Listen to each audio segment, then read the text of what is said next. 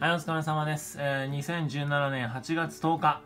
えー、木曜日ですね。はい。明日は休日で、しかもなんだろう、あの、新発売が2つもあるんだよね。あの、遊戯王の新しい弾が出るのと、えー、デュエルマスターズのクロニクルデッキね。えー、遊戯王はどうだかわかんないなどうなのかなうん。でもあのー、デュエルの方のクロニクルデッキはね、非常になんか前評判が高くて、えー、朝からみんな来てくれると思います。はい。今日来たみんなも言ってました。明日は11時の開店から来るぞ。でもってすぐにこれとこれとこれを改造してどうするんだなんて言ってましたね。はい。で、店の方でもね、少し開封して、あの、シングルでも置くつもりなんで、まあ、そんなたくさんは置けないけどね。はい。あのーシングルで買いたい人とかも、あの、お店の方来てください。はい。まあ、だから、今日は明日の準備で頑張ったって感じかな。うん。です。えっ、ー、とね、Amazon の注文が少ないんですよね。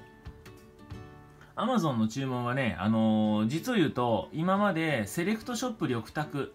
という名前でずっとアマゾン出品をしていたんですけども、えーつい先月ぐらい、先月かな？あのーいや、やっぱりあの、ブックアイランドジュニアイルマ店というこの名前でね、あのちゃんとアマゾン出品していこうじゃないかと。せっかくそのお店の名前が、この YouTube とかのおかげでね、あの有名になってきた、知ってくださる方がいるようになったんで、あのー、Amazon にも、ちゃんとブックアイランドの名前であの出品を始めようということで変更しました。と、そしたらですね、どうもやっぱりそのセレクトショップ緑卓の名前であの商品をずっとそのカードとかをね、買ってくださってたお客さんたちがかなりいたんでしょうね。その急な名前変更のためかわかんないんだけど、おお客さん減っちゃったな、なんかな。うん、まあまあ、落ち着けばね、売ってる商品はもちろん全部同じものなので、あのちゃんと売れてくれると思うんですけれども、もちろん評価も引き継いでるしね。ただ今ちょっと落ちてるのはそういう原因かな。まあ、あとは夏休み期間中なんで、あの、お盆とかそういう時は、あの注文が減るのはね、まあ毎年のことなんで。ただまあ、あの、まあ店の方、通常に、あの、商品買い取って出すみたいな業務の方が忙しいんで、まあそっちの方に、えー注力して頑張って作業してます。はい。で、あと一つ別に全然関係ない話なんですけど、あのーここ最近そのね、店のマナーとかね、そのほら、ルール、ルールってのはもう決められたことだよね。それともう一つマナー。マナーってのはまあ決められたことにプラスアルファするような形でこうした方がいいよ。こうした方がまあみんなで楽しくできるよみたいなそういう、えーものなんだろうけども、まあそういう問題をね、あの、常々ちょっといろいろ考えたり、まあいろんな人と話をしたりしてる中で、僕たまたまその自分の趣味の麻雀のね、あのーまあ、YouTube のチャンネルを見たんですよ。で、そのまあ中で一つそのまあ多分雀荘の関係者なのかな、常連客なのかな、まあ何人かが話してる中で、その雀荘あるある、こういうお客さんは嫌だみたいな、そういうトークのやつをちょっとぼんやり見てたんだけど、やっぱりそういう中でもそのマナーとかね、こういうこういうことされるとちょっとイラッとするねとか、こういう人は本当迷惑だとか、そういう話でやっぱり盛り上がってて、それもだからなんだ、ルールとして記載できないような、やっぱりマナーの部分だったりとかね。まあ、あとはあのーなんだろうな。でもその人たちの話し方はちょっと僕、ちょっとうんと思ったのは、あのーいわゆる初心者の方たちをバカにするような言い方をしてたね。なんかその初心者なのかわかんないけど、おどおどしてるのはちょっと嫌だみたいな言い方をしてたから、こういうこと言っちゃうとそのね初心者の人たちが参加しづらい風に余計に思うよなとか思いましたよね。だからそのまあ別にそれはねその人たちのやつはいいんだけど何が言いたいかっていうとそのやっぱり麻雀でもカードゲームでも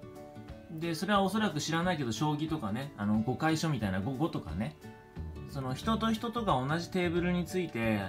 戦う、まあ、遊ぶようなゲームにおいてはやっぱりどこでもそのマナーってものが大事になってくるんだよね。でそれはやっぱりその店とかのかっちりしたルールまあそういうのも大事なんだろうけどね。そういうもので縛っていくっていう方法もあるしあとはまあみんなでそういう気をつけていくっていうかね。そういう変な人をなんとなく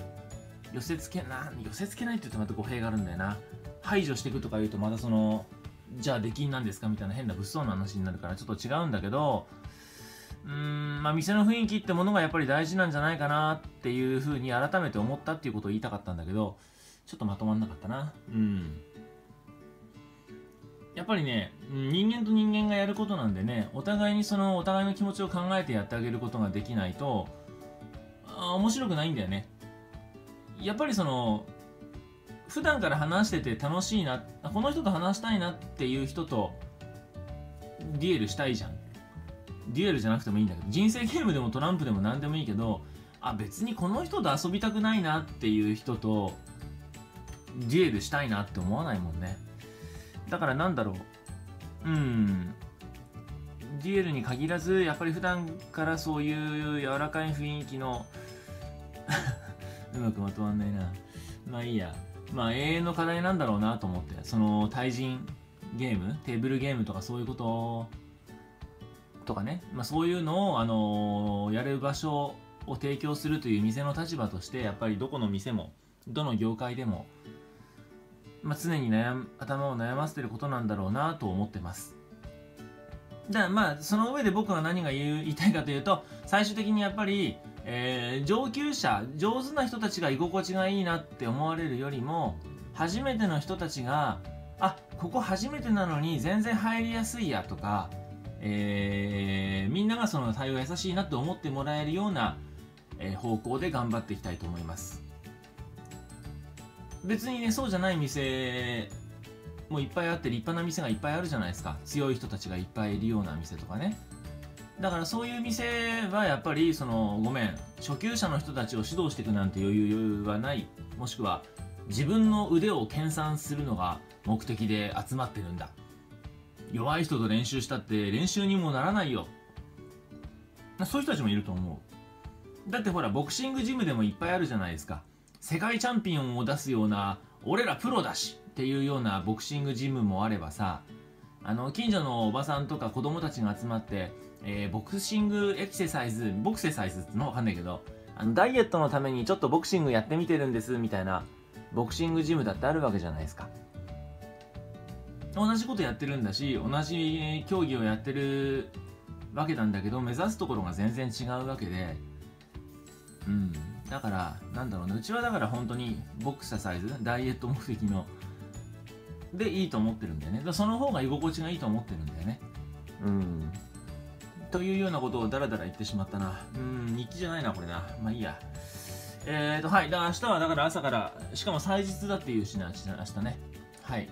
じゃあ金土日と頑張ってやりますので、えー、はい。じゃあまたお疲れ様です。失礼します。